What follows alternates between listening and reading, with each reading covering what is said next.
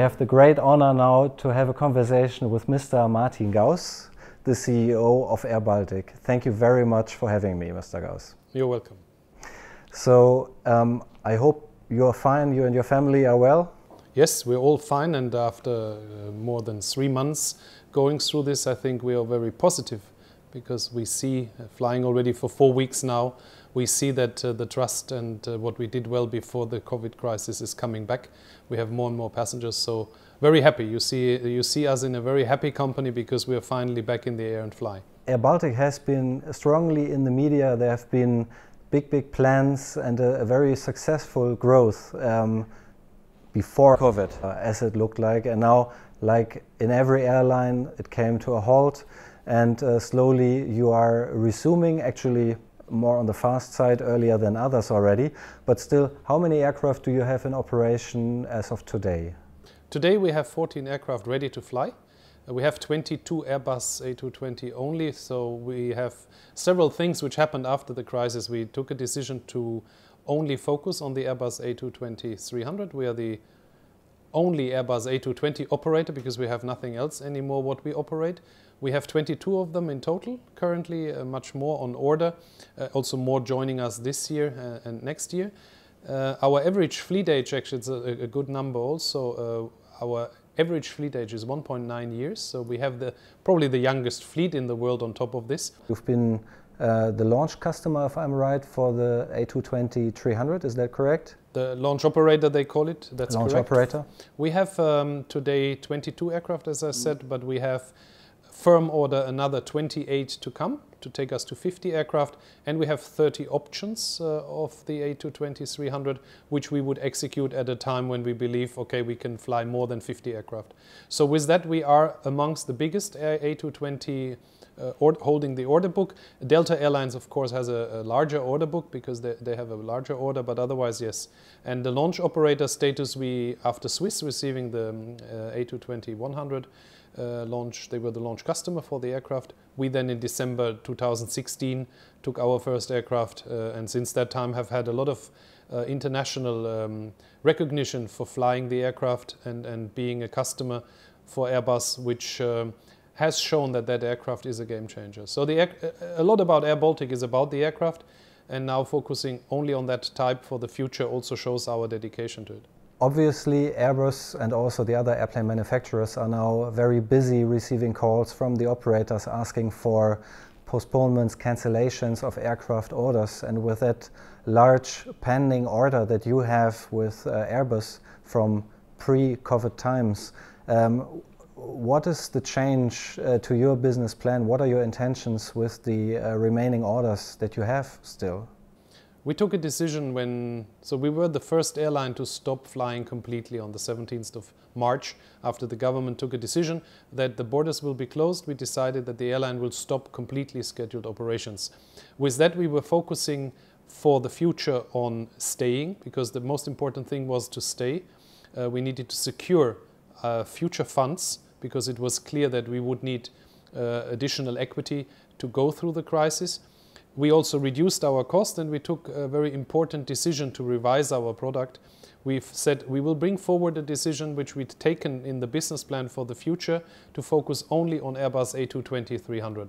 And that decision we took in that first week after being stopped by saying it doesn't make sense anymore to fly so many aircraft, so let us take out the Q400 fleet, 12 of them, and we take out the four Boeings which were still there.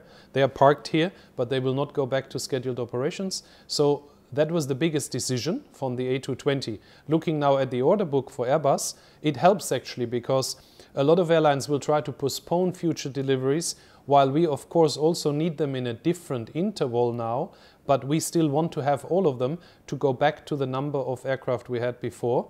And as we are not flying the other types anymore, that helps us actually, and, and we are discussing currently with Airbus how exactly to bring back um, all these aircraft we have ordered. So we don't want to cancel any of them, but we want to change the individual delivery dates. uh, for this year, we, we still intend to take three more aircraft in. Now we have um, a lot of uh, geeks amongst our viewers as well, and I'm uh, very glad that I'm obviously sitting in the airline CEO's office with the most airplane models in any CEO office. right, behind you, um, there's a table with uh, countless Air Baltic models, and um, I, I, think that either you're a very keen collector of these models, or there might be some other story behind that, possibly. No, actually, there is a story behind it. Um, the aircraft models, uh, it's 80 of them. It's the small Herpa models, uh, metal models. Uh, they are lined up there. And when we placed the order uh, for up to 80 aircraft, the idea was actually from uh, uh, our head of corporate communication, from Alise Briede. She had the idea to decorate the, at the press conference with these 80 little aircraft the, the, the desk. And then they moved to my office. and in my office, we took each time one was manufactured and flown over from Montreal to Riga. When it touches down here, we physically put it from the left to the right. Uh, and then what you see on the right side, you see 22 aircraft, which is what we have today. On the other side, you see the ones to come. And uh, I have to say that not only you spotted this in this uh, office, it's probably the most photographed thing in Air Baltic because every journalist who in the past came asked for it and took interesting uh, uh, photos of it. And it, it this, this uh, board which uh, is behind me has been photographed and has been published a lot of times. Uh, it is not that I like to have airplane models, it's the opposite. I have only two other models. It's the aircraft which we fly here, the, the bigger models. But I like that it's a daily motivation, not only for me, for the management team, which is also having the meetings in this office. And we all are motivated by each of the aircraft coming uh, and then putting these little models. It, it, it, gives you every day a visualization of where we want to go. We wish you all the very best of luck for this further mission to go. Thank you very much for your time and support here. And thank you for the opportunity that we could have that interview. Thanks.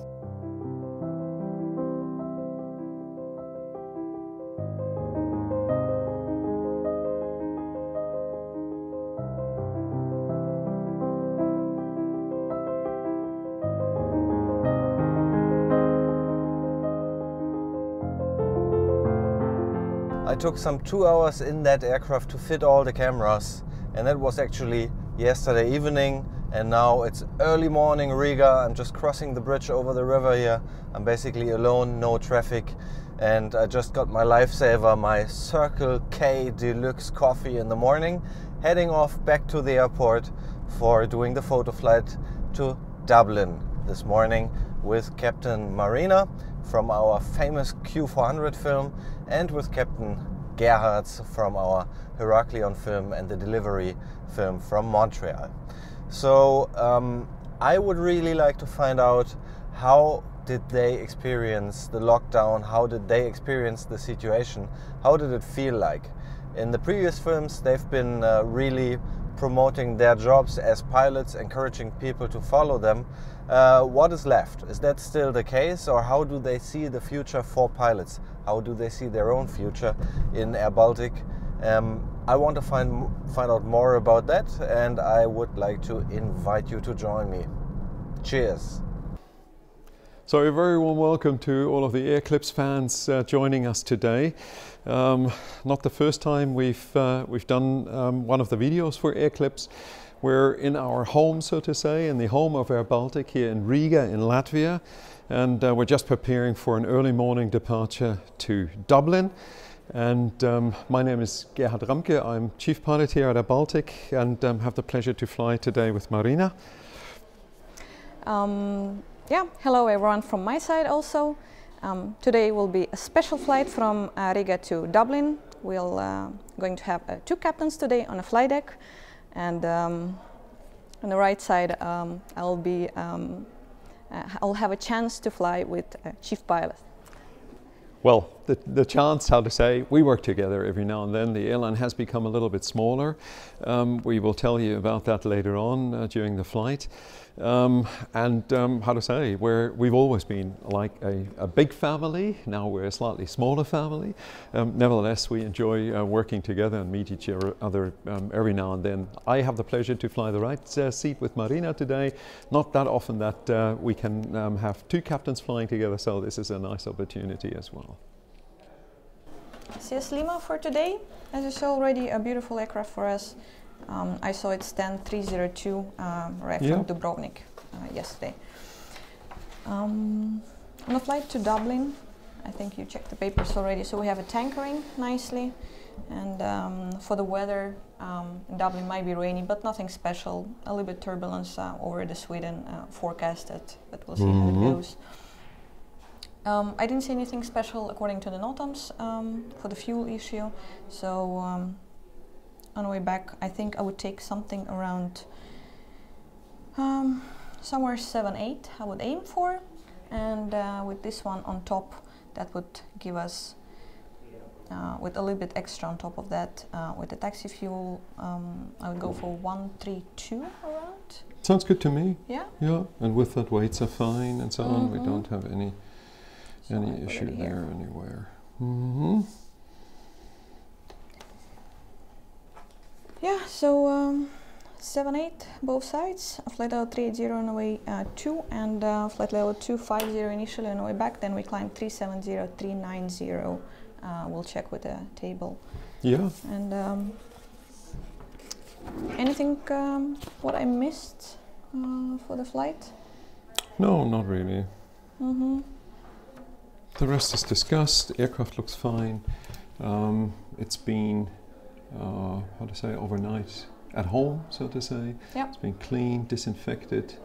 So, uh, no, everything clear. Okay, I think we should go and brief our cabin crew then. Yeah, that's a good idea. Labreed, good morning.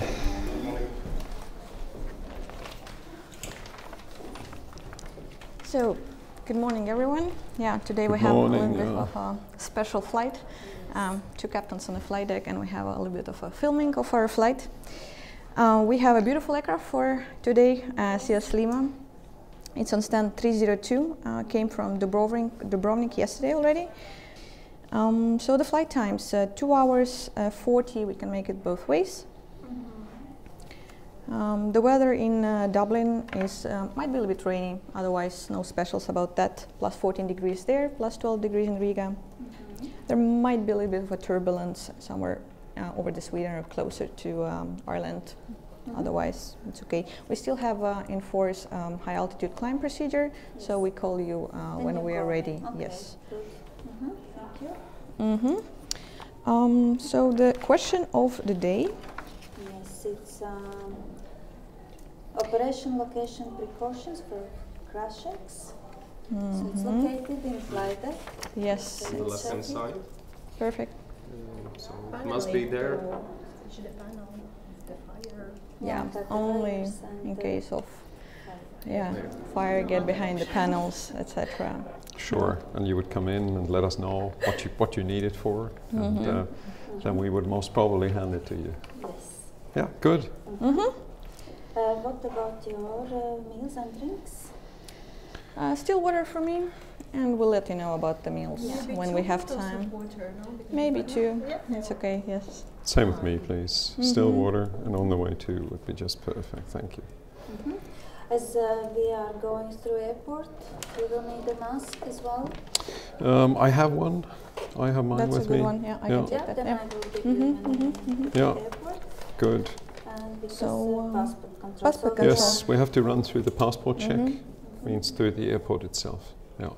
Good. Okay. Then uh, see you in uh, Fine. 10 minutes. See you at the passport check there. Thank you. Excellent. Thank you. um,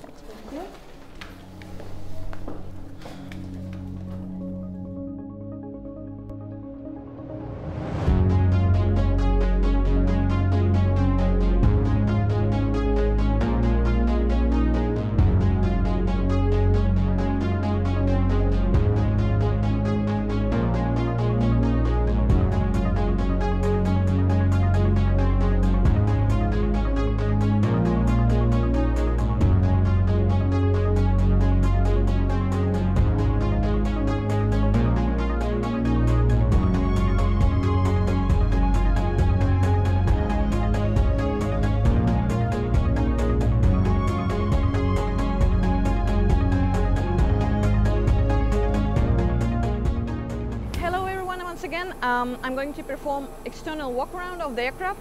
Uh, we usually start at the front passenger door and I'm going to move uh, clockwise around the aircraft to check that there is no damage to the aircraft which left unnoticed to us.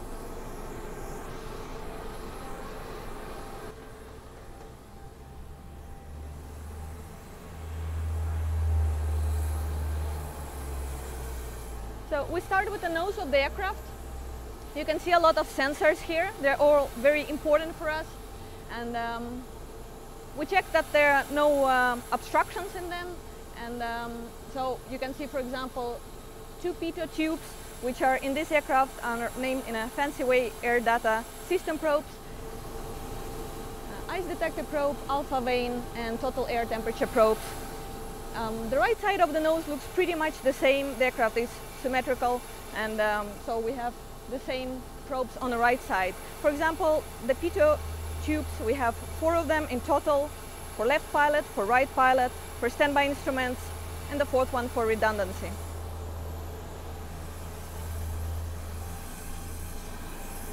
We check, we check all the gear. Um, so we check the general condition, the tires, the wheels, uh, the struts. There are no leakages of any kind. Uh, the lights, obviously. You can see also a small uh, red light over here. Um, it's um, another visual indication for a tow truck driver that the parking brake is set in the cockpit and the aircraft should not be moved. And uh, when we release the parking brake, he will also see um, that we are ready.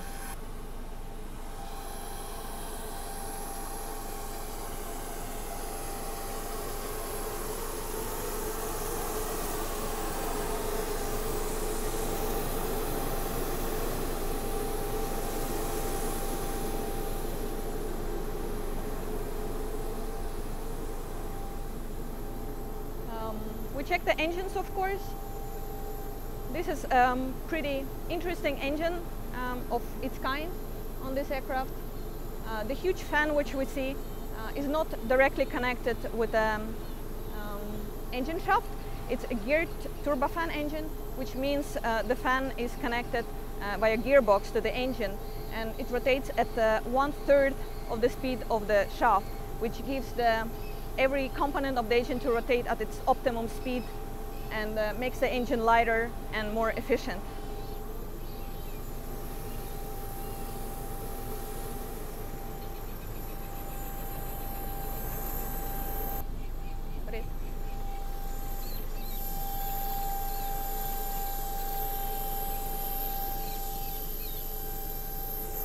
I check the general condition of the wing. So the leading edge we see there are the slats and the trailing edge. Are ailerons and the flaps. Um, those are those little surfaces which are moving after the takeoff and before landing and um, passengers are sometimes wondering what is it, why they're moving, um, is it okay? Yes, it's okay. They're giving us um, extra lift uh, at the lower speeds when we need it the most, takeoff and landing.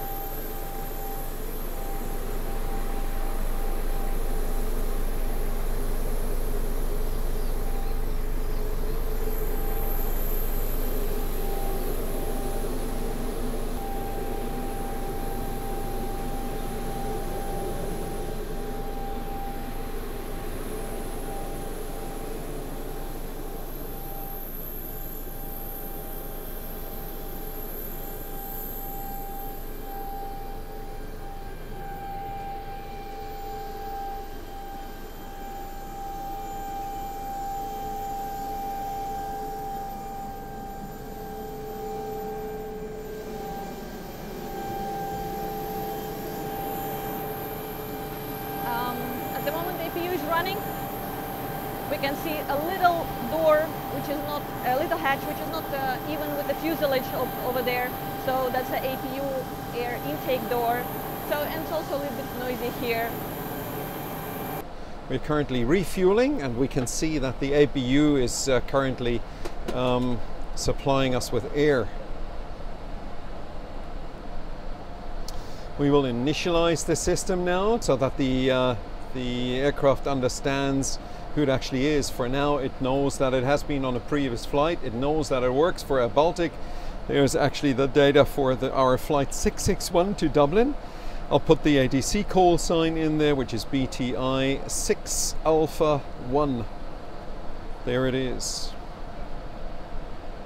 We do have a message down here. We'll have a look. It's a preliminary load sheet, and um, we'll use the printer for this to uh, to have the data available when Marina comes back in. It's particularly important uh, to have a fresh airflow, especially at those COVID and post-COVID times nowadays, when um, before the first passenger enters the aircraft and uh, only after the last passenger disembarks the aircraft, all this time the APU is running to provide a fresh airflow for the passengers.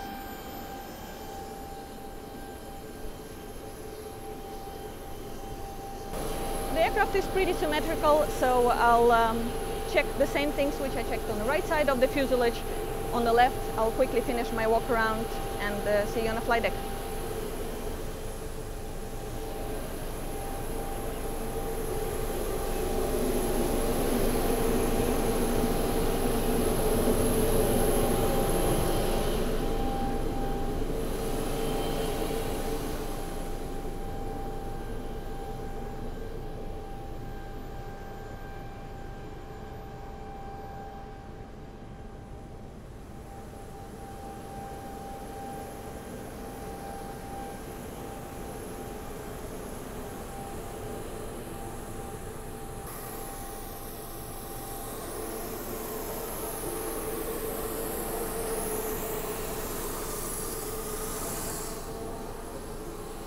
So I finished my walk around and I'm going to join Gerhard uh, with preparations on the flight deck.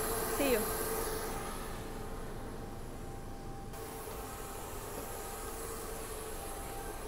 So we're here. Marina is uh, back from her walk around, and we are uh, now preparing the flight deck. Um, we've already received some ACARS data. The load sheet is in the system itself, and uh, we've uh, done our performance checks. Uh, we we calculate them separately and then compare the data, see what the FMS tells us um, if that is uh, basically the same, and we've entered that so far. Now we're just waiting for the passengers. So, can we start loading? Yep.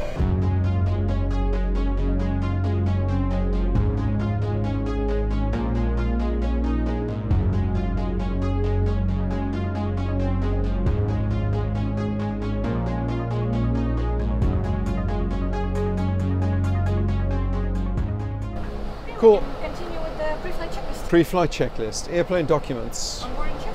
Emergency equipment. Gear pins. Onboard Overhead panel. is uh, checked. Have window heat non-standard off and external power in use. Checked. The glare shield. Uh, checked. Displays. Checked. The ice detector test. Complete. Circuit breakers. Checked. The EICAS and info. So TCAS is to off. Uh, the doors. Window related. And no info. That's checked. Checked. Altimeters. 1014 reading 20. Center panel. Checked. The pedestal. Checked. Rudder trim. Yeah, I've checked that before. Yes. So it's done. Side sticks. Check. Checked on the right. Oxygen mask. Checked. Checked on the right. And the flight deck door is tested. Yes. So the pre-flight checklist is complete. Want to quickly say hello to the passengers? Definitely. Uh, good morning, ladies and uh, gentlemen. Uh, this is your captain speaking. Uh, now we are fully ready for departure. In a few minutes, we can close the doors and uh, proceed to the active runway. Anyway, the flight time to Dublin today is expected to be around uh, 2 hours and uh, 40 minutes, and we do our best to reach destination as soon as possible. Later during approach in uh, Dublin, I come back to with latest weather information, updated arrival time. At the moment, I wish you a pleasant flight. Thank you. 67 passengers, 2 hours 40 minutes. Enjoy the flight with the papers. Thank you. Okay. Can you hear me? Yep. Excellent. That's good. So I tow truck is here. hmm You could. I can offer you the uh, before start checklist. Um, okay, let's do it. So the takeoff prefab. Complete. APU and or external power. APU is on. The beacon, Uh, goes on after the clearance. park brake. On.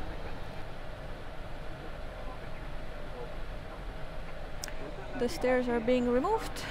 Ground Baltic um, 6 Alpha 1 start 302 starter push please. Baltic 6 Alpha 1, start push approved. Starter push approved 6 Alpha 1. Okay. That is before start checklist complete. Beacon is on. Starter push approved. Okay.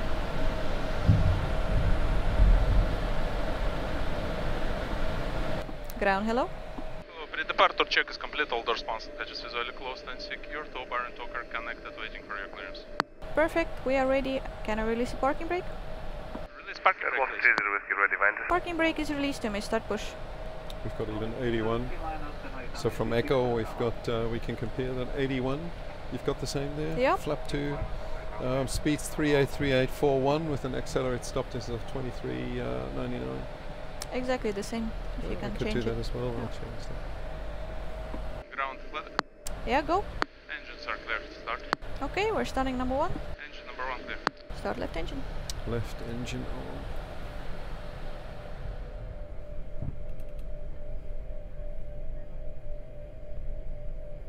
Malik 2 Zero Whiskey, wind 200 degrees, 2 knots, runway 36, for takeoff.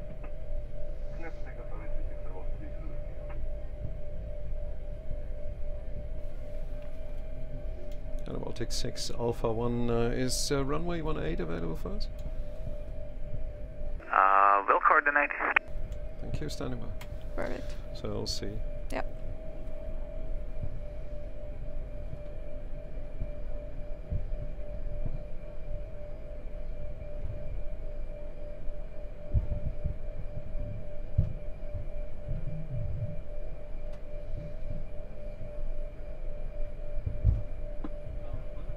Go. Pushback complete, set parking brake, please. Parking brake is set.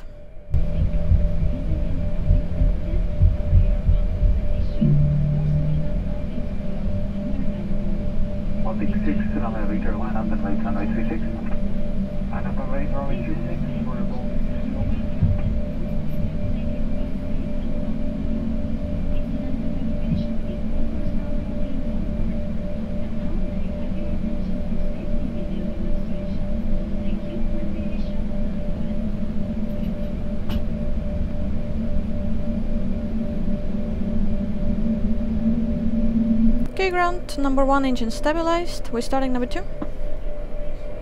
Start right. Start right engine. Right engine on.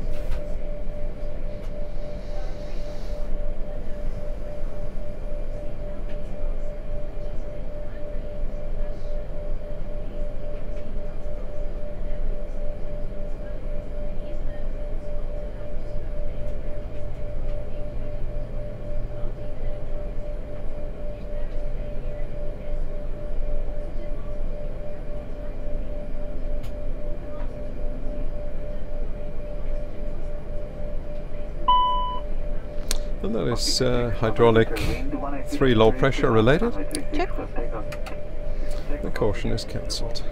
Also get the auto.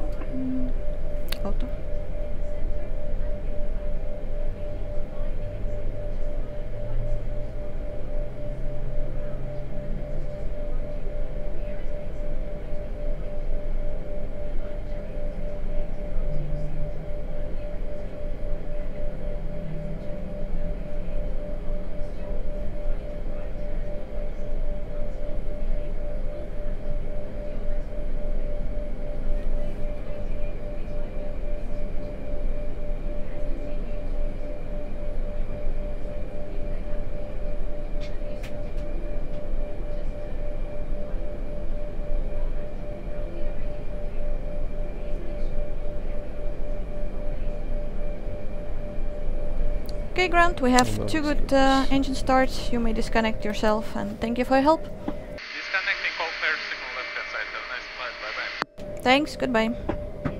Cool. What And would you like to do? Before taxi checklist. B4 taxi checklist. Hydraulic 3A. Auto. The uh, 3B. Auto. 2B. Auto. APU. Wait a second. Clear signal shift. APU is to go. Yeah. Next one is flap.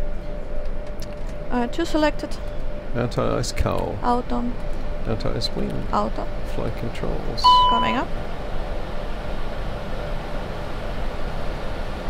And that's related to the performance and the running APU. Check.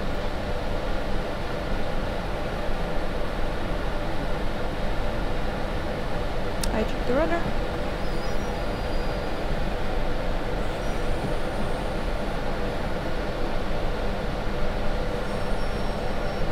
Flight controls checked.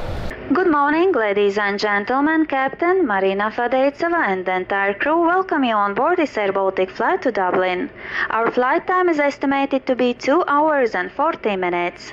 Zyga, Yelena, and Ivars will take care of your safety and comfort during our flight. We care about your health and safety. In order to limit the spread of the virus, please wear your facial mask for the whole duration of the flight, except when instructed by the crew in case of necessity to use oxygen masks. We recommend using the disinfection wipe provided to clean your hands and surfaces around you. Please find it in the basic care kit. That was good news. The APU Off. And uh, no steer. Select on. FMS. I'll set it up in a minute. Okay. Actually, I can do that now. Where we still have to change them in the secondary. So runway 18, yeah, to go. Otherwise, Yeah. it's it. And the trims. 5.01 to green. EICAS and info. So I selected pack flow high already, and the rest is standard checked. Perfect, thank you. That is before taxi check is complete. Let's see what he offers us. Mm-hmm. Ground Baltic 6 Alpha 1 taxi, please. 6 Alpha 1, start taxi. We'll hold short of Fox, uh, Baltic 6 Alpha 1. So right side is full. Left is free and taxi light on. Excellent. Taxi line is now. Brake released. Uh, 6 Alpha 1, continued holding point runway 18 by Fox to 3 clear the valid 5 Echo. Bullet 5 Echo and uh, Fox, and we're ready from Echo at Baltic 6 Alpha. Should then taxi take off. Thank you. Echo at Baltic 6 Alpha. Okay. So Fox to the right, and Yep. then Echo. We also recommend practicing proper sneezing and coughing etiquette. Cover your mouth with a tissue or sneeze and cough into your inner elbow. Please try to keep safe distance from each other during the flight. Please always pay attention on signs in aircraft and crew who is there to make your flight safe and comfortable. And um, we have a reclearance via the Valet 5 Echo departure. I'll set that up for you briefly there.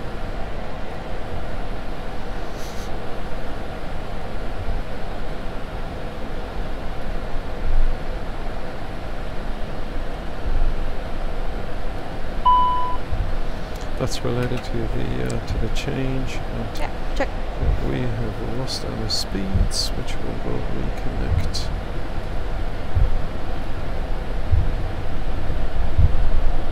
In the event of evacuation, leave all personal belongings on board. And now may we have your attention for safety video demonstration. Thank you and we wish you a pleasant flight.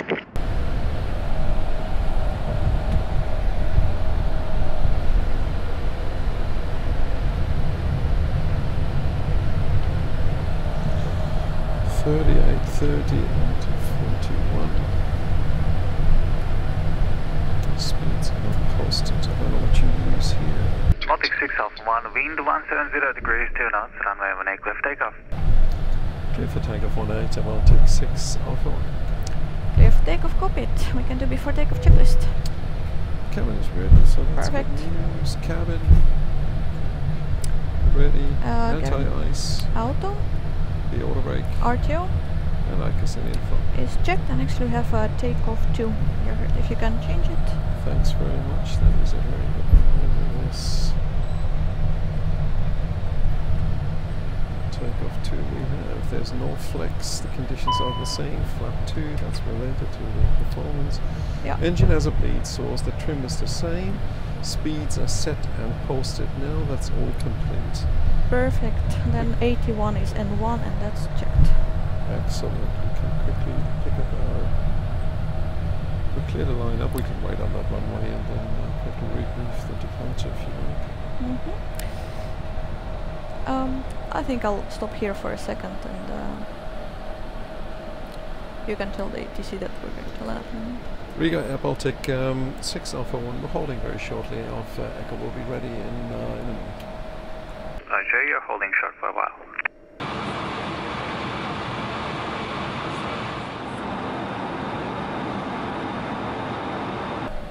Mm-hmm. Okay, so runway 18 performance is cross-checked uh, with us and uh, for 18 valid 5 echo in the box. Uh, climb 4000 initially, still there and uh, uh, straight ahead 3.3 above 2000, right turn to valid, that's in FMS. Uh, communication the same, MSA the same. engine out procedure, straight ahead 4000. Yeah, that's correct. If you're ready? Yep. Mm -hmm. You ready? Yep. Baltic 6 Alpha 1, fully ready. 6 Alpha 1, wind 170 degrees, 2 knots, runway 18, clear for takeoff. Clear for takeoff 18, Baltic 6 Alpha 1, you're ready. Entering 18, left is free. The right side is free, approach sector is clear. Lights and belts. Lights and belts clear for takeoff. And if you can put the uh, heading back to runway 18.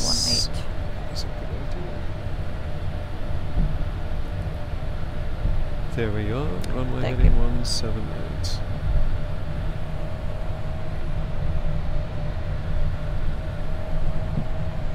So we have the clearance. I'm going to continue rolling then.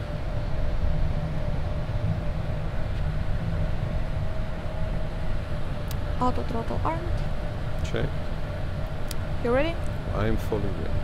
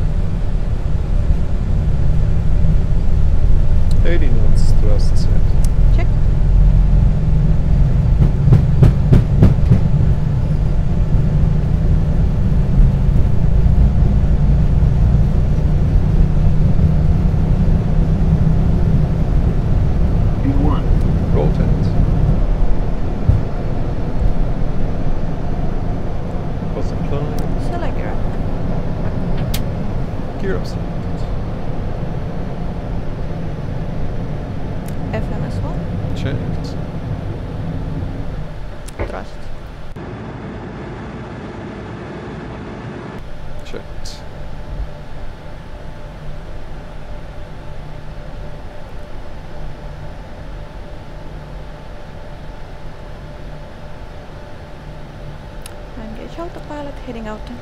It's checked.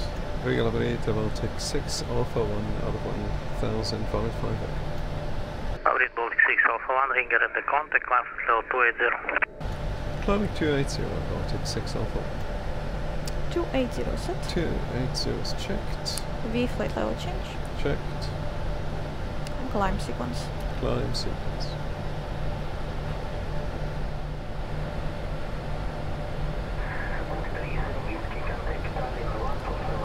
Flap one selected. Check.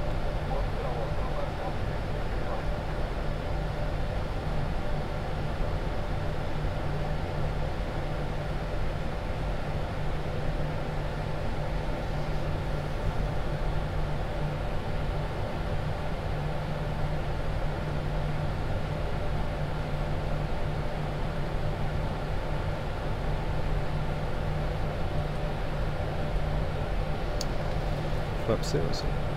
Check. Window standard. Standard is set and cross checks.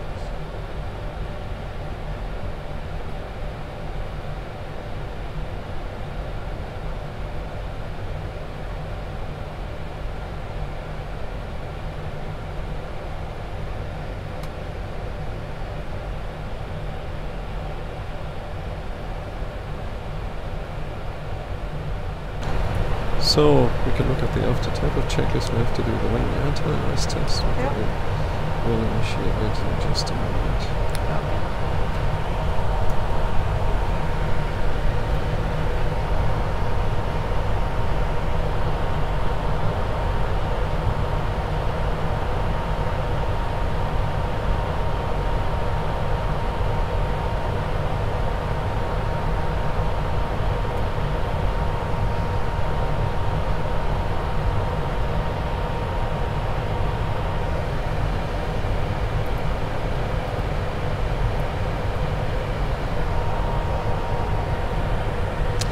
Are you warm enough?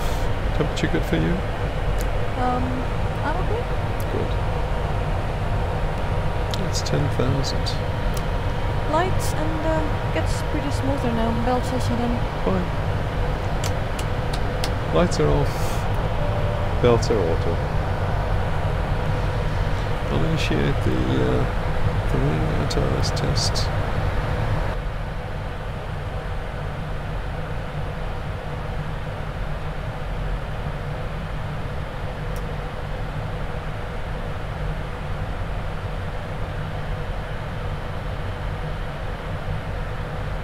Did you see that uh, little bird on uh, rotation on the Yeah. right side? I don't think that we. Uh, That was way too to little. Mm. We'll have to have a thorough look. So that's the two minutes past. Anti-ice goes auto. And um, the test is complete. EICAS is checked. After time of check, this is complete. Thank you. The weight. Just got uh, past 58 tons.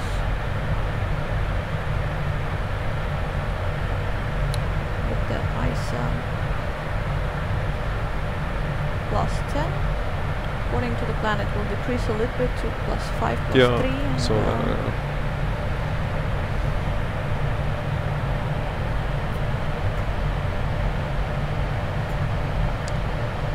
58 tons, uh, our maximum is 370 at ISA plus 10.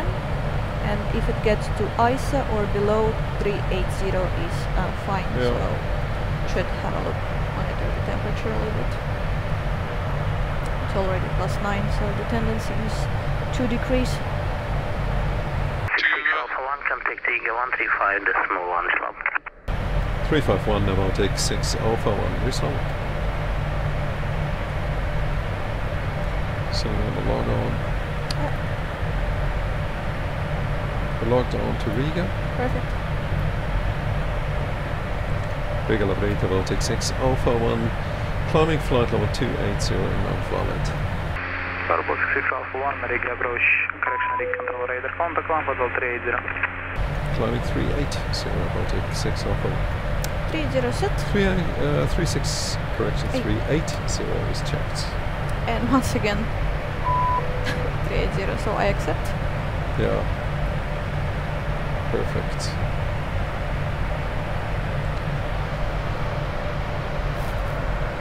There's some kind of noise there.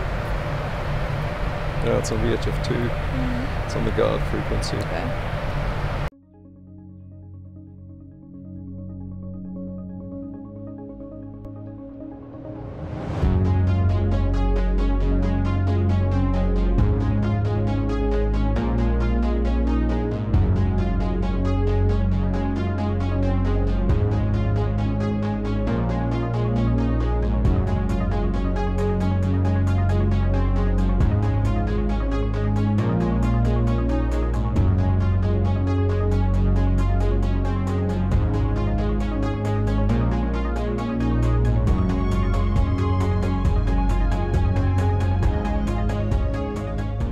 Here we are.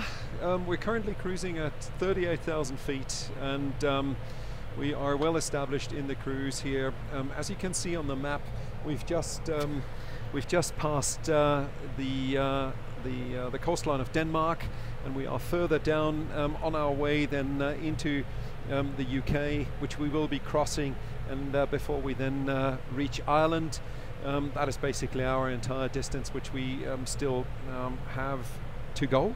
um, and um, it's roughly 520 nautical miles, um, which is then something uh, like 900 something uh, kilometers, which we have ahead of us.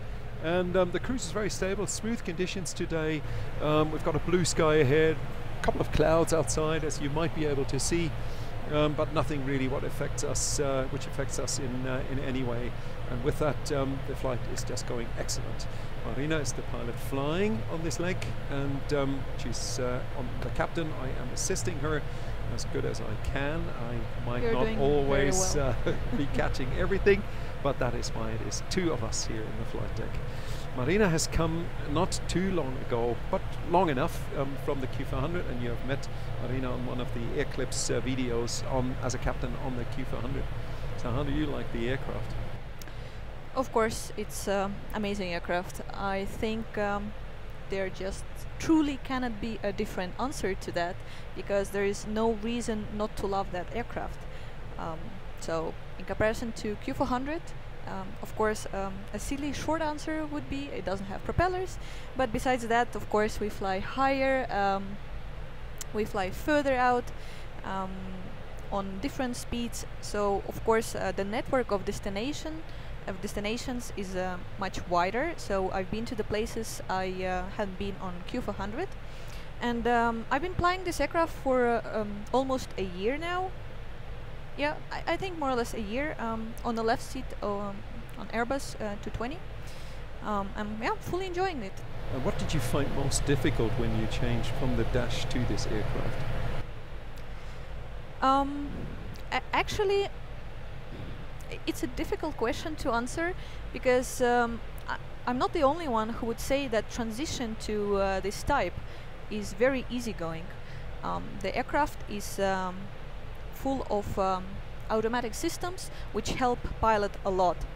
So, uh, of course, the pilot work, I, I wouldn't say it became easier, um, but the more systems we need to know on that aircraft more thoroughly, more deeper, but um, the, the type rating course is uh, uh, done in such a uh, easy way that um, I cannot even recall like specifically the, the difficult yeah, the, the, biggest difficulty of that aircraft. Um, so on this aircraft um, there are no so-called memory items so there is nothing uh, uh, to do from the memory in case of emergencies, uh, besides um, the oxygen masks, which are uh, for us uh, to put in case of any uh, fire involved malfunction or um, decompression. Besides that, the aircraft really nicely helps us in practically every of malfunctions and tell us what to do. So I, I, think that was a transition from um, uh, more difficult uh, aircraft uh, to the easier in a flying wise and maybe more complicated system wise aircraft. Yeah. yeah. Do you have any um, anything for yourself to specify? Because as, as I said, I cannot really come up with anything which is so difficult on that aircraft. No, that's the same with me. I have been flying um, the Q400 as well yeah. before, and um, how to say, of course, it's a it's a change. First of all, the Q400, of course, has a full glass cockpit. With that, the presentation of data, a map, and so on is similar. Resolution is by far not as good as here, um, but otherwise, um, presentation of data in general is, of course, um, in a, in a certain way similar. Screens are smaller, so um, uh, that is of course um, a, a, big advantage that we've got these huge screens um, where the information is displayed on. We've got these excellent maps um, available. Um, that it doesn't only help situational awareness, it's just a pleasure to look at and really fun to, to work with it. As you mentioned already, the uh, the, the lack of memory items, so items which we have to do by memory. Um, if something goes wrong, um, and an older type of aircraft, you would have to um, do certain things then um, by memory. Um, a lot of uh, different flows, switching, settings, turn of knobs, uh, activation of systems, and so forth. That is not the case here. Um, people might make mistakes. It's in the human nature to make mistakes, um, and with that, of course, um, uh, the outcome might be um, even worse. And that is made a lot more easy here. You've got an electronic checklist system um, which you pull up, um, the, the uh, malfunction gets displayed, um, we work off the, the, um, uh, the electronic checklist and it tells us what we have to do. There's a lot of how to say knowledge which you have to have of course behind it um, when it comes to systems and how systems correlate um, but on the other hand um, a checklist system like that helps very much to to deal with a certain situation so yeah. I, I love that presentation mm-hmm. and the fact that we've got that support actually yeah and definitely. of course the, the more modern um, uh, machinery gets um, uh, the, the, the less of um, how to say the risk of errors should be actually there Yep. Um, the passenger in the back wants us uh, to deal with that in the, in the, in the best possible way. Mm-hmm. Talking about presentation of um, uh, information to us, I think a very nice um, uh, piece of display is the EICAS. So it's the right side of my uh, display number two, which basically uh, tells us visually if we have uh, um, any non-normal or special selection of any switch or button in the aircraft. Uh, so it tells us uh, also including um, any malfunctions on the aircraft it instantly appears there and basically with the one quick scan of the EICAS we can uh, see in which positions, in which status is our aircraft. the moment uh, there are three notes there, wing anti is off, that's a requirement for our aircraft uh, above flight level 350. Pack flow high, um, that's uh, related to the uh, fresh increased flow of air for the passengers during those times and no pad, that's a standard item there. Uh, the uh, pack flow high is of course something which we have introduced now um, with this uh, aftermath, or it's actually not even the aftermath, we're still dealing with uh, Corona. Um, basically just within the last days um, the borders um, of many countries have opened up again and uh, we find ourselves in the situation that we have increased flights now after having been on ground for a long time um, so within a period of nearly three months, we've only done um, a few flights, which were mainly repatriation flights, picking up stuck passengers um, who were on a um, yeah on a, on a on a trip somewhere else. It might have been vacation, it might have been business or family visits or whatever, and um, to bring these people home again. That has been our main task, and we've only done a few of those. Um, so um, now that normal line operation starts up again with, um, of course, significantly reduced passenger numbers for now. Um, we've put measures in place. We've been working heavily on these things um, for in this period of uh, three months to see the optimum uh, um, introduced uh, to ensure that passengers are comfortable flying again. Um, a lot of different um, issues have been um, addressed, um, discussed, taken care of, implemented as procedures. Um, we as an airline, we want to be on the forefront of um, um, um of the industry movement um, to um, ensure that passengers really feel safe traveling uh, with us, and that there's no point of discussion in any point in at any time when it comes to uh, how to say being protected as much as they can. that we hand out a, a small little care uh, package which contains a mask. We do require that uh, passengers wear their mask for the entire flight. Um, it's basically there to protect the others as well, um, as much as we can. Um, and then vice versa, of course, the passenger, um, this, this specific passenger, him or herself. Um, then uh, before the boarding, we do measure temperatures. Um, that's an automated procedure. Um, we've invested in uh, pretty expensive cameras who produce um, a, um, an image checking the, uh, the, the, the, temperature. Not all is um, really um, scientifically proven that that would be um, a measure there. Of course, how to say, apparently even people who do not have the symptoms and still carry the, uh, the virus. Um, but um, we want to do the most we can to ensure that um, we have at least, um, uh, how to say, taken into account all of these measures. And I think in uh, general, um, people are usually very concerned about concerned uh, during this period about flying that they're sitting so close together and the aircraft is a closed space, let's say, in, in a cabin. Um, but uh, actually, the airflow in the aircraft is done in such a efficient manner uh, vertically uh, from um, up to down um, in a way that it's not really um, mixed up with the air of the person who is sitting even on your side. Absolutely. Um, I also talked about um, APU uh, quickly uh, during my external walk around that Yeah. um, as a procedure we have it a mandatory um, uh, to switch it on before the first passenger uh, enters the aircraft and uh, switch it off only after the last one leaves the aircraft uh, to keep this constant flow of air being refreshed in the cabin. Absolutely. So before you would have switched the APU on either if you need electrical power, which we don't need at that Yeah. stage because we still have ground power connected. So um, uh, from the from the service unit on ground, um, so we don't need electrical support. But we have made it a rule that even um, five to ten minutes before the passengers actually start the boarding, we have the APU up and running to have that high airflow through the cabin. So um, to ensure that at a constant base the air is exchanged um, in the cabin. And um, now uh, we have these HEPA filters on board, um, which are um, filters um, basically taking anything out of the air which you could find in there. And um, they would take 90, or above 99% of anything which you would have, like um, germs and, and things like that, um, they would filter them out.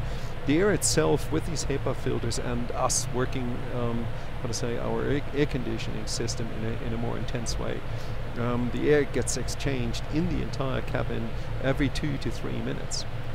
And with that, um, it is pretty secure that, um, how to say, the way the air flows and so on, it is not unpleasant for the passengers, so you would not feel a big draft.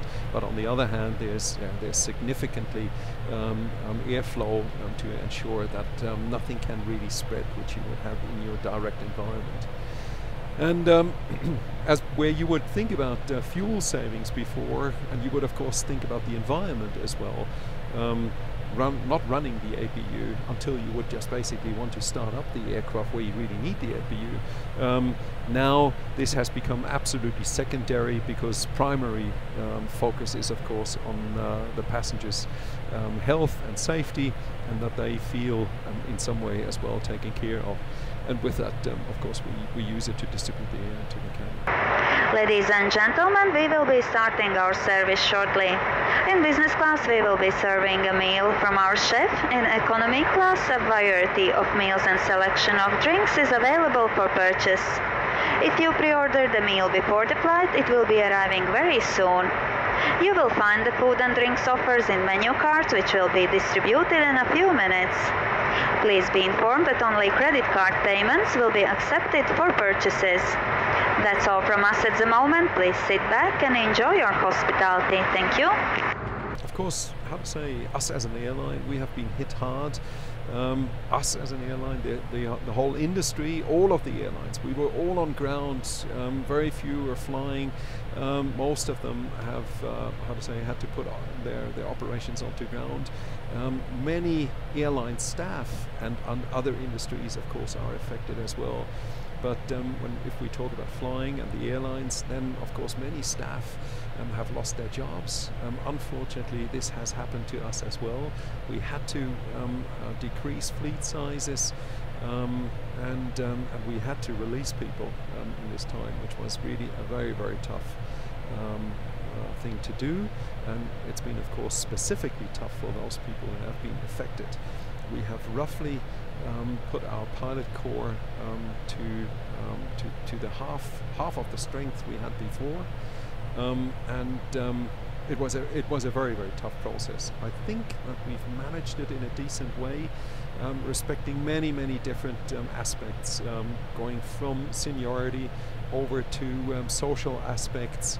Um, before we had basically established um, who um, would be staying, keeping their job, and who actually had to go. Um, we had to change a couple of uh, positions. There were people who had already achieved their captaincy with, uh, within the company and who unfortunately had to um, then take a, uh, a, first officer position. But from what I've heard up to now, um, all those people are specifically happy that they still kept a job and uh, did not have to leave. And of course, now we're very much focusing on ramping up the, uh, the business again and our flights um, to see that uh, those colleagues whom we had to release, um, where we've put a guarantee on re-employment out, um, we will re-employ these people in the sequence of the way we had to release them. Yeah. So Um, that they basically can come back as soon as we uh, we um, I to say ramp up our operations. they are definitely looking forward to that. Yeah. Yeah, because I'm um, the one, the, the lucky one who stayed there in the company, and of course I'm super happy about it. Um, of course, that was a tough period, and um, there was a certain extent of uncertainty in the beginning, but I think the company managed that uh, in a very uh, good manner. Uh, so we indeed, how, we, how it, was already told, we stopped practically all operations, and um, I was not flying for around three months. As majority of pilots, I was uh, spending my um, so-called isolation period in in other countries, so I was not involved also with any uh, repatriation flights. Um, so I had basically time uh, for myself. Nevertheless, Good. nevertheless um, it was all well so uh, communicated uh, from the company, including the unions. Um, so wh- while I was at home, I still had all the information, what was happening in the company, which steps are taking. Uh, our uh, CEO kept us informed on a weekly basis. Um, in the beginning, it was even daily update of the information. Uh, what the cap, uh, what the company did today, what's the plan for tomorrow, etc., etc. Also, the unions uh, uh, did a very well um, their job. They stepped in and they supported us in every possible way. But of course, uh, um, that could not be avoided. The process of uh, letting some people go. But yeah, hopefully that's a temporary uh, solution. Yeah, we very much hope so. And that will get. Uh, we've got very ambitious plans um, for the future uh, when it comes not only to the ramp up now, we're adding flights every single week. The passenger figures are not still not what we really are hoping for. People are, of course, um, how to say, um, they're holding back with their with their travel uh, plans.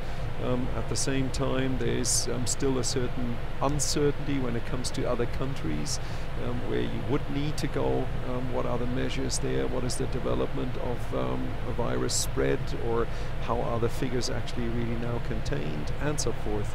Um, so we hope that that will ramp up um, as well, and uh, that we'll see figures growing.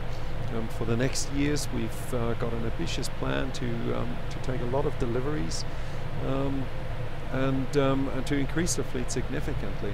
Yeah. So uh, we're, we're actually really, really very, uh, very positive and um, I imagine, yeah, this um, the current let's call it a transition period is very complicated. Um, as for the management, also a little bit for the pilots in a way that um our schedule changes according to the conditions outside, and sometimes we um, neither um, our CEO knows if the flight which is planned for tomorrow going to be allowed to be performed or not. Uh, so of course in those conditions we are very uh, dynamic operations, uh, uh, doing dynamic operations at the moment and we are ready um, to have uh, changes on our rosters and yeah, so we, we, are going with the flow as the situation develops. Sure. Very much, of course, are, are very important, and, and we have a big focus on there that the flights which we offer on the market, um, that they really take place. Um, it's not always quite up to us. Um, we definitely want to ensure that we are not the ones cancelling any flights. Um, if we put out the the um, how to say the announcement that we are starting up a certain route, then the passenger should be relying on that we are going to serve that route as well, and that's what we really have a big big focus on.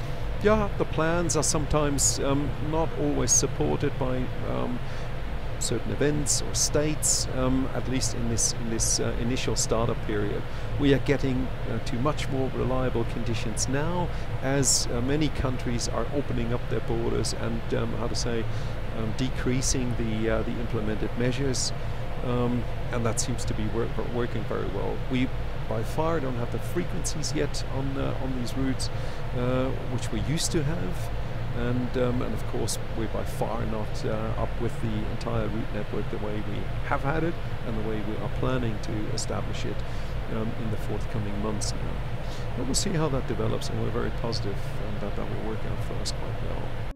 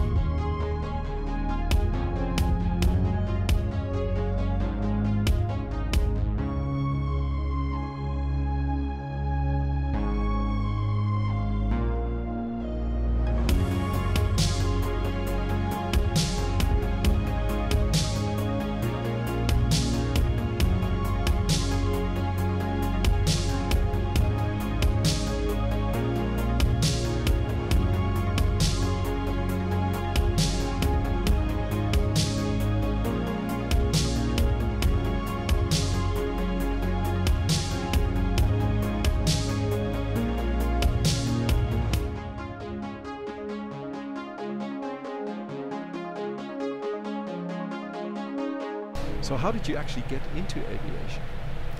Okay, um, I think um, that would be not honest from my side. Uh, not to mention that my parents are working in aviation. Yeah.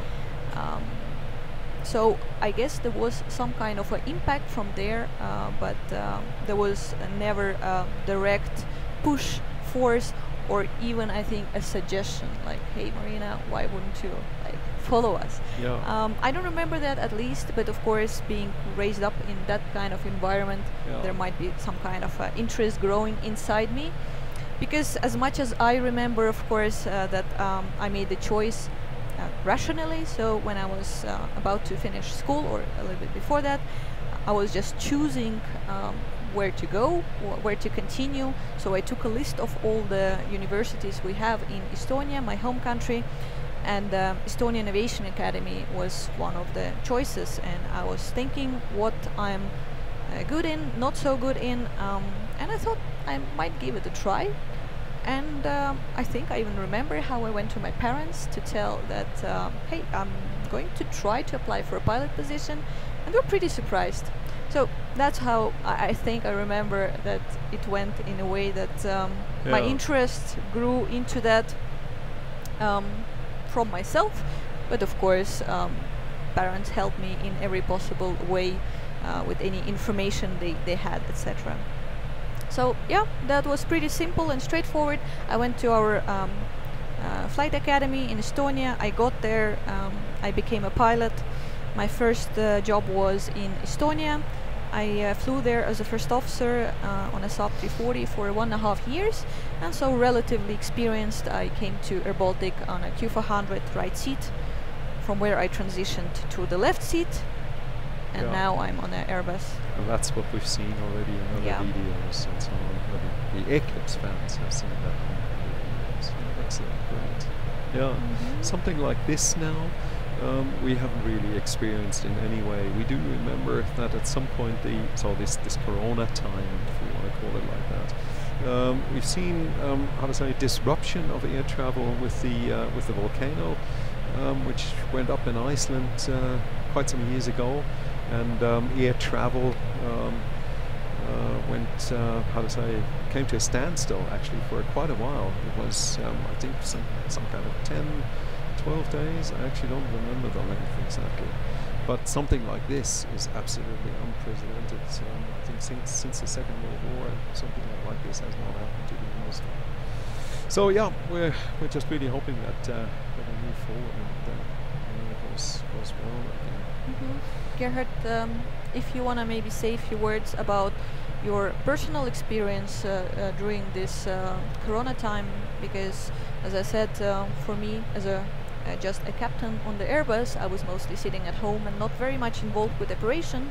Um, although I heard everything what is happening, so maybe a little inside look. Okay, okay.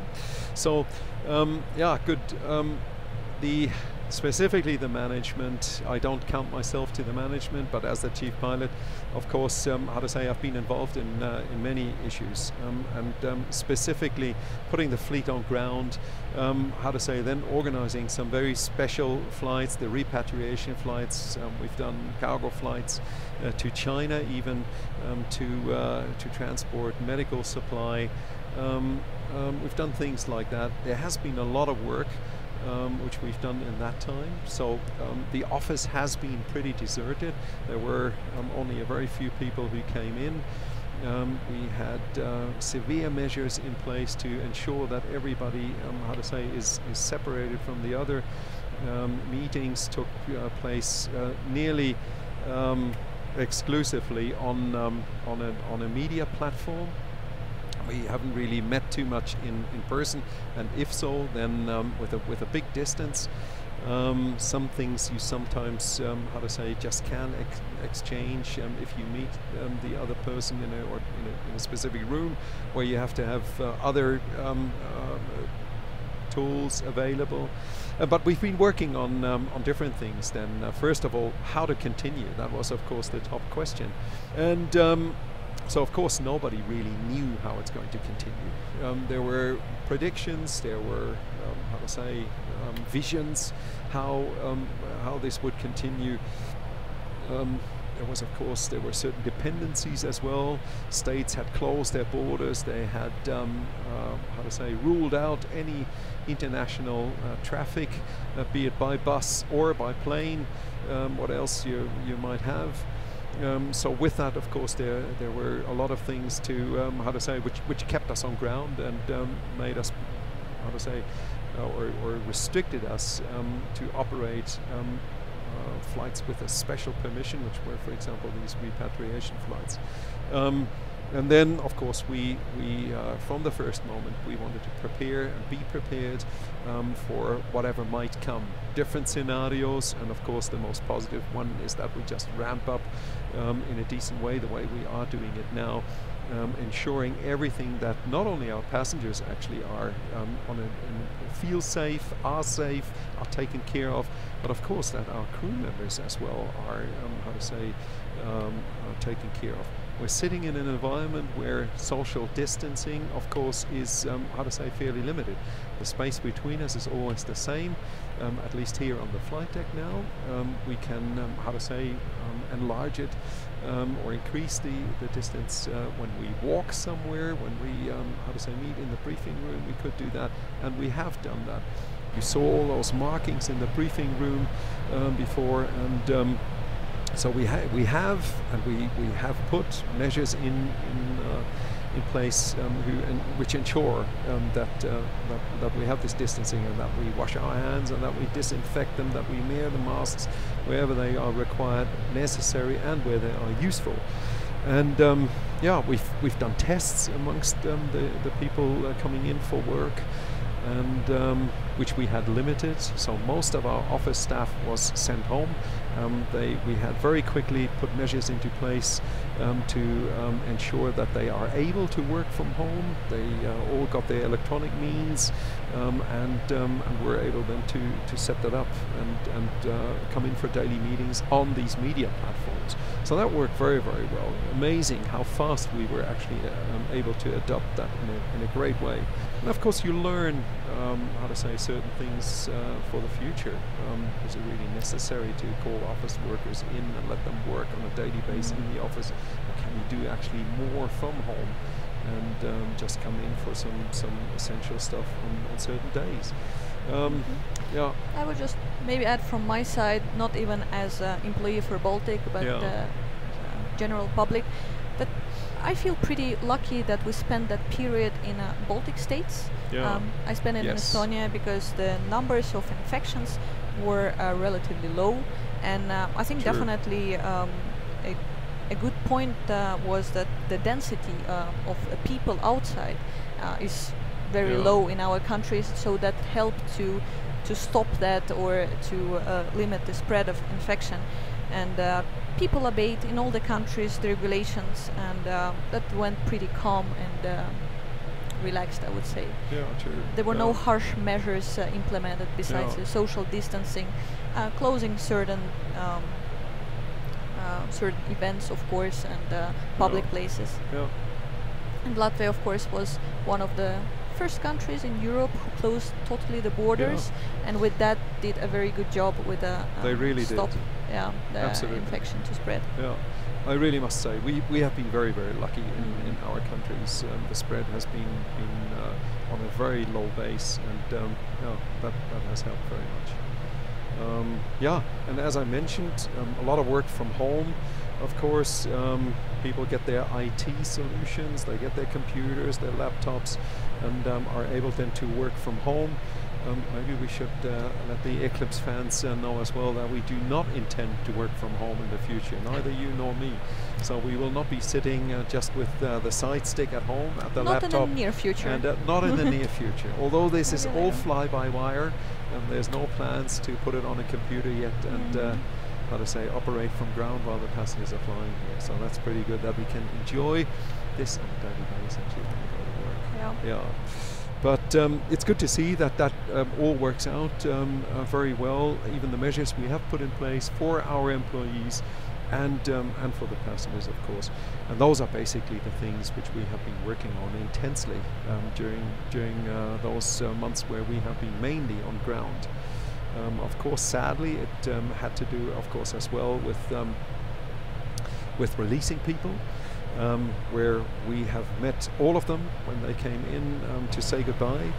Um, and um, we put a big emphasis on um, that we are doing our very best to to make this airline grow again, um, to be able to re-employ these people or to at least offer re-employment if they want to come back. they have been released because of this crisis situation and not because we uh, were not happy with their work. And I think that's um, a very important thing to mention as well. Yeah, well, those are our colleagues, and um, I think they fully understand it, and uh, they're already looking forward to uh, come back to the company. Yeah, absolutely. Because yeah. even with the three months being on the ground, I really, really miss that, miss those views, miss that job, miss those little chats in the flight deck. Yeah, true, mm-hmm. absolutely. Yeah, yeah. It is something good to have that back. Yes. It has become very quiet at the airport as well. Um, you always have the feeling there's something wrong. Although we're very happy if um, we, um, how to say, are able to produce less noise um, for the neighborhood of the airport. Um, it's always a very sensitive thing. Um, we've already done that by introducing this aircraft, which has a significantly lower uh, noise footprint um, than any other model which um, you would find um, approaching our airport or departing. Um, so as this is the most modern single aisle um, passenger plane um, on the market, it has a significantly lower uh, noise footprint as well. And uh, that does make a difference. But I still miss some kind of noise at the airport. Well, every day it will get more and more yeah, noisy. yeah, you're right. Yeah. Hello, my name is uh, Ivars. I'm uh, cabin crew team leader, uh, supervisor in company, and I have been working for uh, five years. Uh, today we have a flight to Dublin, which takes uh, two hours and 40 minutes together, and the same time on the way back. Uh, today uh, we are on a very special aircraft with a Latvian national flag livery, which is also you can see it here on my little pin. this was made for Latvia's 100th birthday. We also have uh, two aircraft with a Lithuanian and a Estonian flag as well. So people usual, usually are uh, quite excited uh, to board uh, those special livery aircraft. This pandemic uh, came. Uh, we knew about it, of course, and it was expected, but I guess nobody thought that it would bring such a lockdown throughout the whole world, around the globe and uh, we were actually the first company that stopped uh, our flights. We were the first ones, and uh, now we are slowly resuming them. I think that uh, most of uh, our colleagues, I would say all of them, like uh, no matter they are working in the office, they are technicians, cabin crew, or pilots, they are really, really happy to get back to work, to fly again, and uh, everybody is really coming uh, to work with a smile on their face and uh, with a pride in their heart. On board, uh, we do have a, the service, uh, which is buy on board service concept, that uh, ever, everything is for purchase. Nothing is included in the price, however, there is an opportunity to pre-order meals that you can find on our website and um, you would get served first with a nice hot meal with a starter and a dessert. Uh, for all our customers, we provide uh, really good uh, prices of tickets, and uh, if you you can get the full service uh, spectre, so from uh, economy to business class, and then if you want to add bags or meals, it is optional, and it's a very nice and a good quality product that we offer. We are reaching the coastline um, of the UK, mm -hmm. and um, I think maybe it's just time to move forward um, exactly. to get some uh, some weather, some fresh weather, and um, to prepare ourselves for the approach. So I can, uh, if you like, I can uh, use the the ACARS to get us some weather. So runway uh, 28 in Dublin, runway is wet, so obviously it was raining, there are several closed uh, taxiways. Yes, which we saw on the NOTAMs already. Yeah. They are refurbishing the airport there in Dublin. Yep. I'll get back to that a little bit later. I'll just take the weather 3208 knots. It's raining still at the moment. There are Yeah. some clouds, 12 degrees. Mm-hmm. And we expect uh, 53.5 tons for landing. Yeah. I think we have um, uh, we're planned for Buxo 1 X-ray arrival. Yep, which I have here. Mhm. That should be plates 10-2 Delta. The same. So then I just continue with the briefing flow. Yeah. Yeah, So mainly runway 1634 is closed yeah, uh, for takeoffs and landings at least. And um, yeah, as you mentioned, uh, all those small intersections which are close to that runway are closed. So the northern part is closed. Uh, Mike 1, Hotel 1, Whiskey 1, Whiskey 2. It also mentions it's closed Sierra 2 and Alpha. So um, if we land runway uh, 28, then um, we can use uh, high speed uh, exit Sierra 5 for Sierra 6 and via Sierra um, I think we go all the way um, to the runway, we cross that runway and if Alpha 1 is indeed closed then we use Bravo 2 yeah Yeah, and from there on I think we can use the Foxtrot all the way to the north yeah yeah, that's most likely what we will Mhm. get. And then uh, we come in probably via link 4, link 5, somewhere up there to Kyoto. Mhm. okay good Mm. Cool. And we'll see how that goes. And uh, for the rest if you're ready to follow me Sure, at any time. Okay, so um, I start with the routing. We're planned for a Buxo 1 X-ray arrival. That's uh, set in FMS. Let me find that point. Yeah, so it starts from here. Uh, Buxo, we have maximum uh, uh, speed 250. We have to be below flight level 100. That is a restriction over there. Otsis, then Keraf, max speed 230 at flight level 80 and then we go uh, Kogax, uh, the same restrictions apply, and uh, Narmo, Lapmo, max 180 above 3000. Um, so the general speed restriction uh, 250 below uh, flight level 100. We come from the side with the MSA 2400 and there is a little uh, southern uh, uh, part of MSA 4000. Yes. So from there on, uh, we go to ILS. Uh, 28 runway is in use, as you mentioned, that's a wet runway.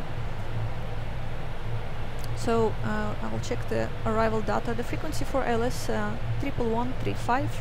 Final track is 278, 279 on the chart, so Which uh, is one degree uh, difference. In the, in the one degree, yes. Yeah. Uh, we have uh, runway threshold elevation of uh, 202. Mhm. and uh, we started Lapmo intermediate fix at 3000 we might descend 2500 uh, for Maxif from there on uh, with 3 degrees glide slope we go down to minimums uh, 410 that's selected and Barham Checked. In case of go round we climb uh, straight ahead to point uh, Gannet max 3000 feet let me check it here so Gannet 3000 feet or below uh, then turn right with a maximum speed 220 to join the radial 278 inbound uh, Dublin VOR and climbing 5000 feet. So that's in FMS. We can use uh, LNAV for go round. Perfect. Um, so that's as much as I can say uh, from the chart.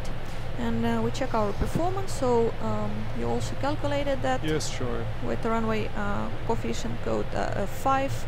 The weather is inserted, auto brakes uh, medium, Okay.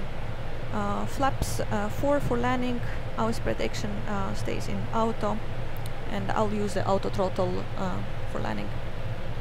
And I get this uh, VREF speed of 134 and the go around 140 and 150, the speeds are preselected. That's exactly what I have as well. Okay, Got an operational landing distance of 1555. the same. Cool. Yeah. For the descent, uh, we descend with the same uh, Max 78. Transition flight level is uh, 60. Stabilization gate is uh, 1000 standard. Um, the elevation is 200, so we might use it according to pressure altimeters. Sure. So after landing, as we discussed, we're going to vacate to the right, Sierra 5 or um, Sierra 6, then Sierra, and as briefed before, with all the restrictions according to the NOTAMs. Yeah. Yeah. Yes. So yeah. Um, aircraft still good. Um, no specials that I can remember. No, and there's no special procedure like uh, on some airports where we would have to report that we do not have any uh, suspicious health case on board or something like that. So we do not. Um, say? There's nothing additionally for us to do. Yeah. For us, um, yeah, we also have an alternate. It's Shannon. Yeah. For there, we need uh, 1,900 to go, and we have a tankering on the way back, and it shows that we have fuel on the way back also. We have uh, a pretty high amount of fuel. Yes. So, yep. Cool. So, Very if good. you have nothing to add, then from my side, briefing is completed. Excellent. Mhm. No, Now we can we can initiate the descent or checklist. Descent and approach checklist. Um, so the anti-ice wing I'll skip. When ready, we will descend 330, calling for right, 6 alpha. 330 set when ready. Excellent, 330 is checked. Find the FMS, Set. minimum, Uh, 410 set. and the auto brake. Medium EICAS, is uh, checked with the pack flow high, wing, and outbreaks medium. excellent. And the approach briefing. Completed. One open item of the uh, wing anti-ice, which we will do moment. Yeah, I think I'll start descent in around 10 miles from now. Cool. And um, we send already information uh, for the ground handling. Yeah, that's also one of the measures nicely implemented by the company to um, decrease amount of interaction uh, with the people on the ground. So we have a system, the data link system on the aircraft, with which we already notify in advance uh, the ground handling at the destination if we need anything. And um, so for today's flight, uh, for example, no fueling needed, and they know that no fueling required, and I expect them not to come to the aircraft. Clear.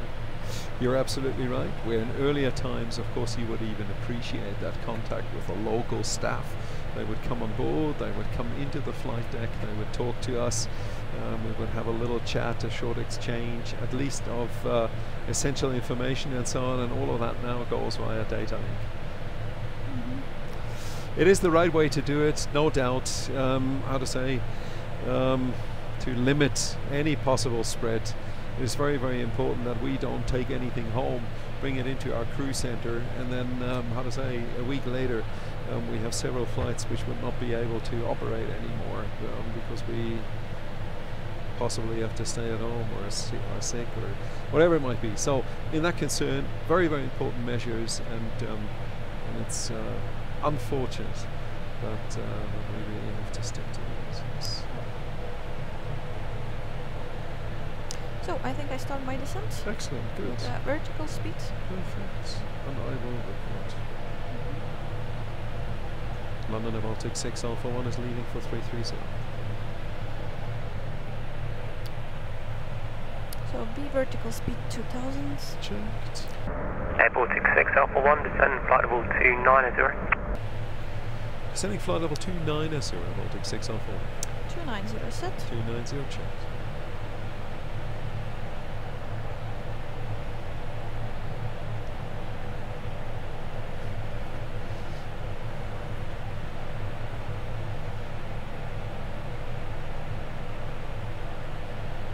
Air Baltic 6 Alpha 1, route direct back, so.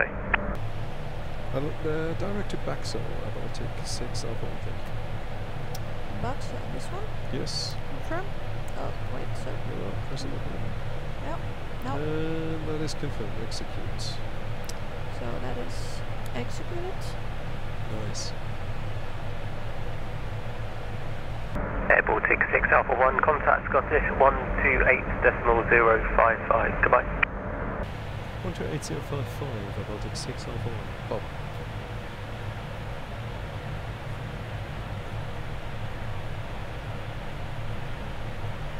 Scottish good morning, uh, Baltic 6 Alpha 1, descending flight level 290, inbound to Baxo. Air Baltic 6 Alpha 1, Scottish Control, Roger, descent flight level 180. So flight level 180, Baltic 6 Alpha.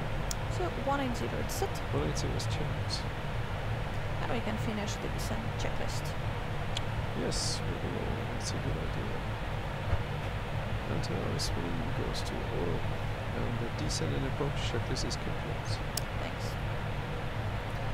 And I um, go to the manual speed to 50 and I engage auto throttle to keep it on idle. So I de decrease the speed a little bit for the sure. turbulence, might be expected. Baltic 6 Alpha 1, descend altitude 3000 feet, QNH 1014, cleared ILS approach runway 28. Sending 3000 feet, 1014, clear the ILS 28, Baltic 6 Alpha 3000, 1014, and we're cleared for LS. 1014, send a cross checked, we're cleared the ILS exactly, and 3000 is checked. Yeah. It's of course one of the advantages now with this low amount of traffic. We get basically straight in approaches um, just anywhere. Yeah, direct, number one, high speed. Yeah, absolutely.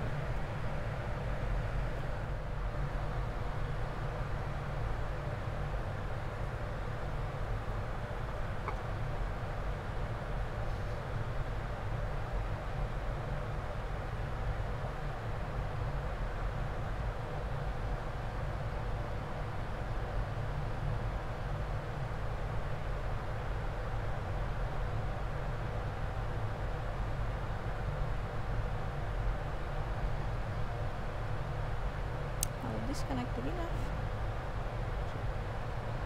Checked.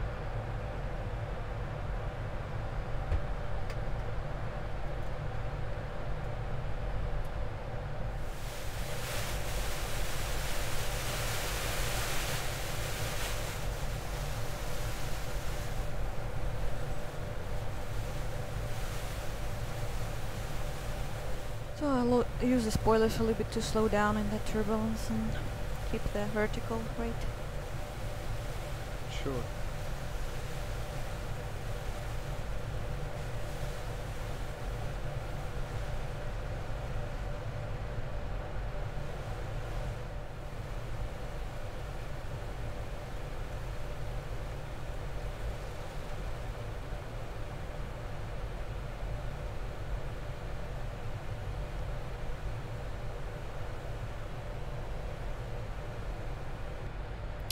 Select flap 1.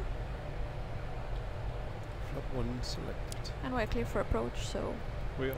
Approach from S1, localizer 1, glide slope armed. Checked.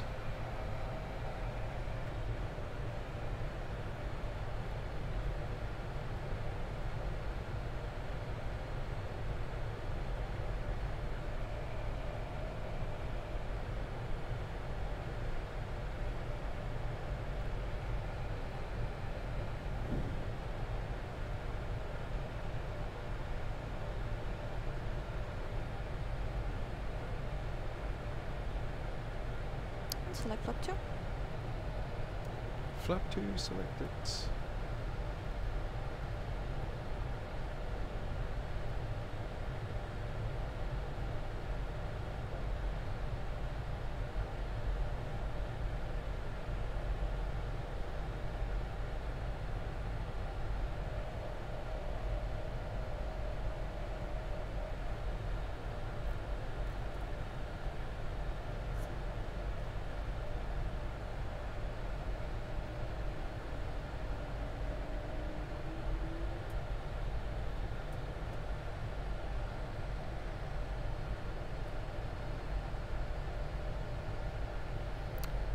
I'll decrease, decrease the vertical speed to capture the glide. Thousand to go 1014. Let's check with 1014.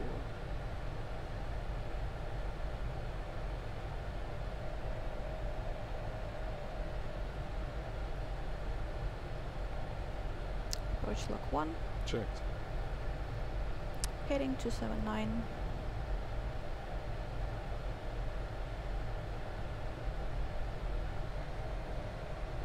Light slope. Check. And uh, 5000 for go round as a final uh, go round altitude. Perfect.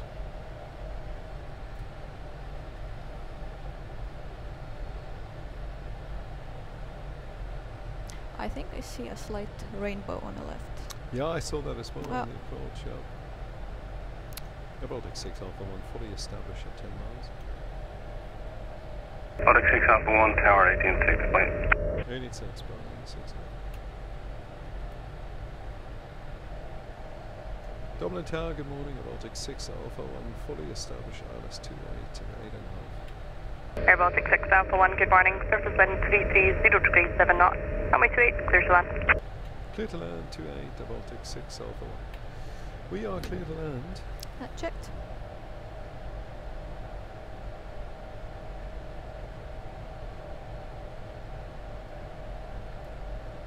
I can select gear down, Gear down.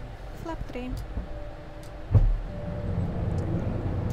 Three seconds. 2500. checked. That is checked.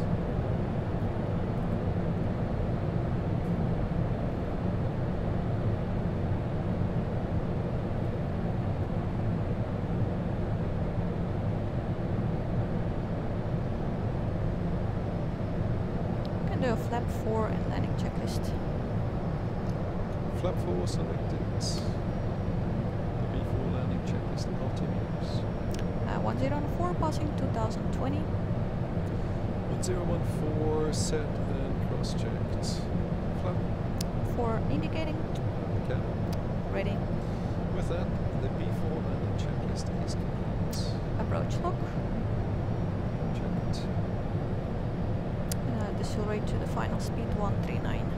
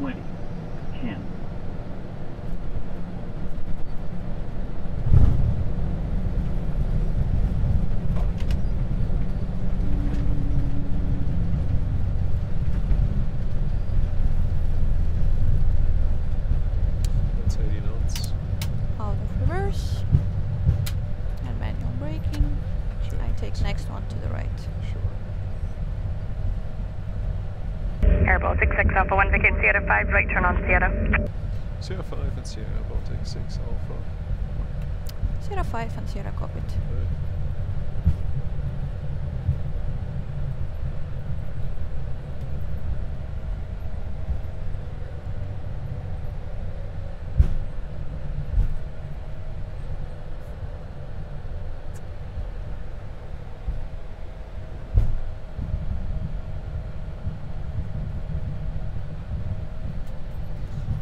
Right. Side is free.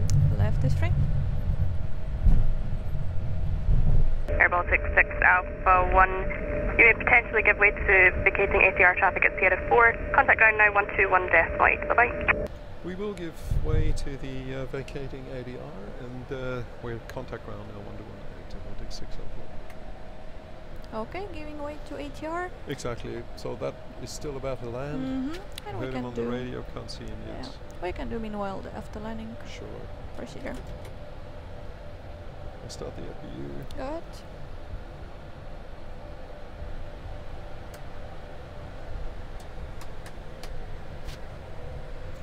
Ground, good morning, Baltic 6 Alpha 1. We are on Sierra. We will give way to a landing and vacating ATR at Sierra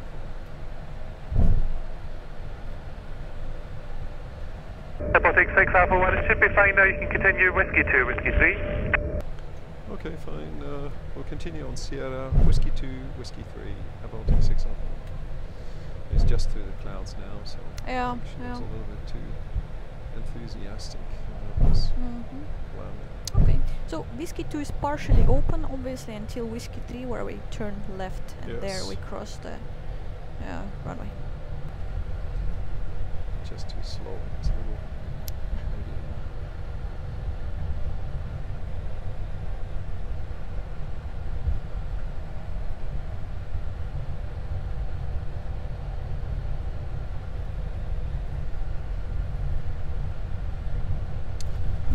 Next one is whiskey two. to Yeah, the left. and uh, left is free. Excellent.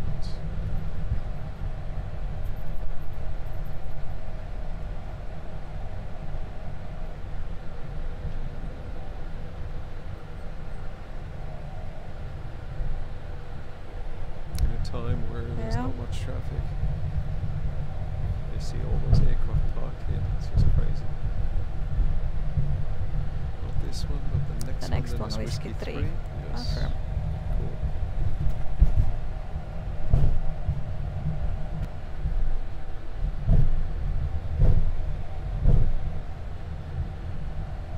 Right side is free. Left is still free. And we're crossing runway 16. Left AFO, is free. We are approved to cross.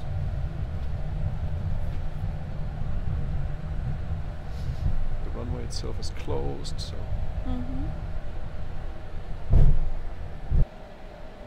Yeah, maybe. sure we are. We just realized that. Thank you.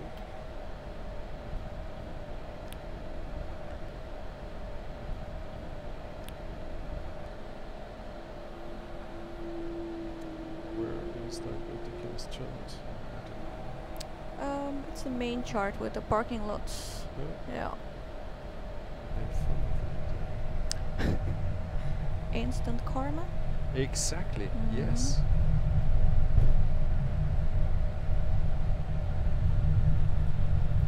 So Is link four? four, left is Yeah. free. Cool. And apron four and uh, Romeo one one. Uh, um, Three one one. uh, three one one Romeo. Yeah. Right. yes.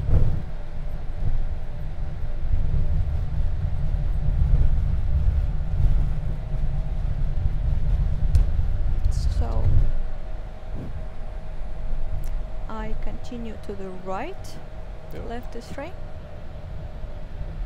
So Right is apron four. yeah. Mhm. And We've basically got the, uh, the standard side there. Can you see it? It's where that uh, fuel truck Uh huh. Fuel truck, which we didn't request. Well, might not be Yeah.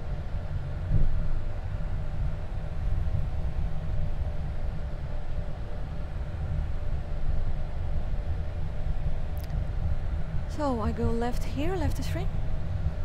Sure.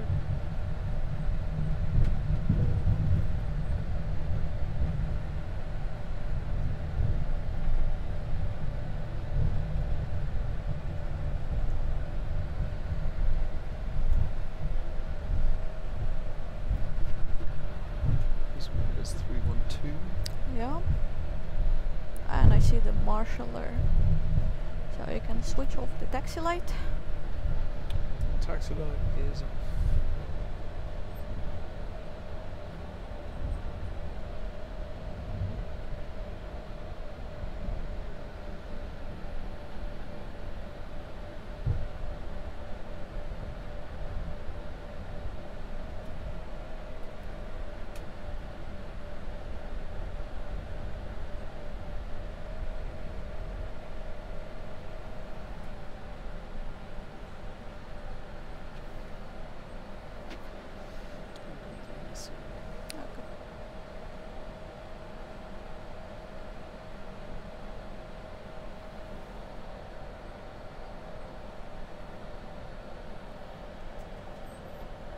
Parking brake is on.